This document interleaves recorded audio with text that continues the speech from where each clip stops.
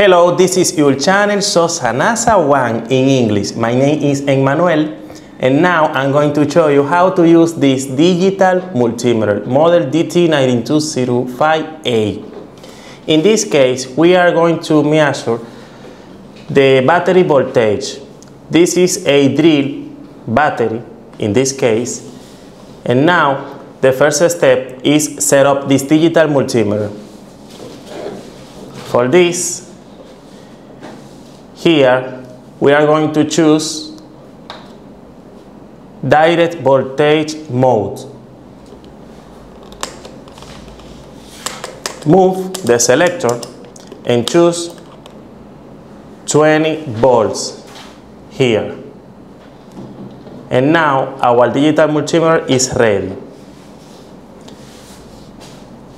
If we read here on the battery, this is a 12 volts battery in this case. For measure this battery is very easy. Take this and touch this point. This point is the negative and this is the positive. Now we are going to touch here and here and watch on the multimeter screen.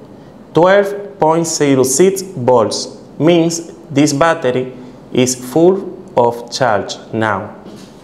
And this means too that this battery is good in this case.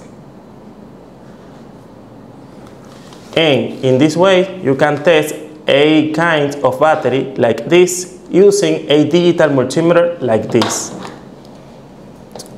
Thank you for watching. Subscribe in our channel, uh, share this video, give me a like and thank you for watching.